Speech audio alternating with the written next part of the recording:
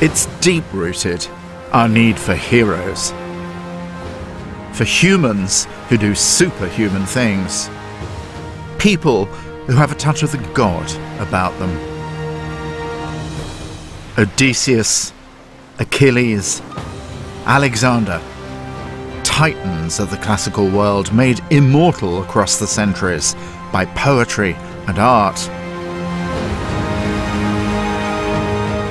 But our first national hero was no prince, but a diamond in the rough.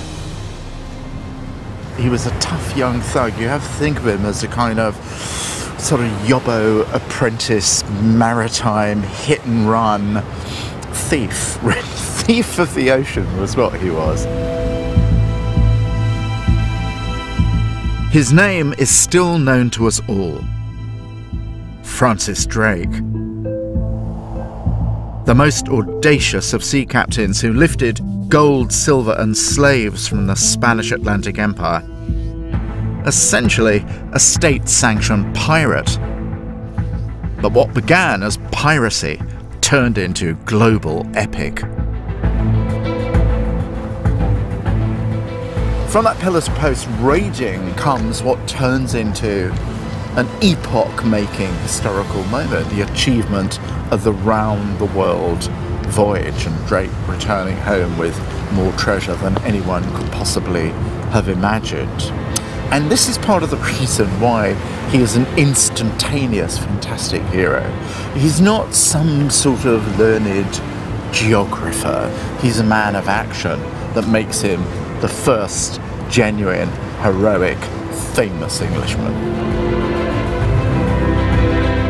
Face people want to see.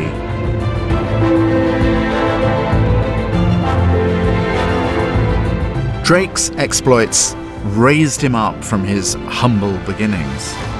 But his fame was also carefully cultivated by those governing the embattled Elizabethan state. They saw how a popular hero could inspire the country in the fight against Spain.